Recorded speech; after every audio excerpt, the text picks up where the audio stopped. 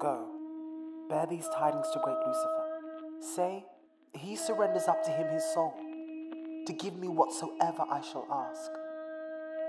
I will, Faustus. Contrition, prayer, repentance. What of them? Hell hath no limits, nor is it circumscribed in one self place. Never too late if Faustus can repent.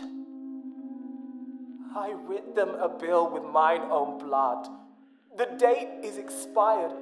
The time will come, and he will fetch me. He will fetch me.